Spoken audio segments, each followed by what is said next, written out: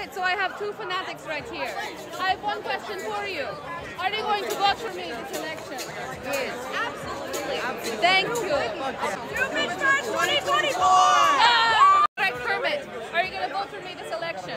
Yes. For Dr. Doofenshmirtz? Doofenshmirtz 2024. Yes, yes, yes. All right, guys, are you going to vote for me this election? Doofenshmirtz 2024! Yeah! So am I your candidate for 2024? Of course. Doofenshmirtz 2024, baby! I'm Percy Jackson. I approve this message, bro. All right, I'm here with what's your name? Deadpool! And Deadpool is going to help me take over the tri-state area this year. And get Yes. all the platypussy! Yeah! Here's my closest friends. What do you have to say? Vote for Doofenshmirtz. Yeah. All right, I'm here with a nice little friend right here. What do you have to say? Doofenshmirtz for president 2024. Thank you very much. Thank you. He's making me make a deal with him now.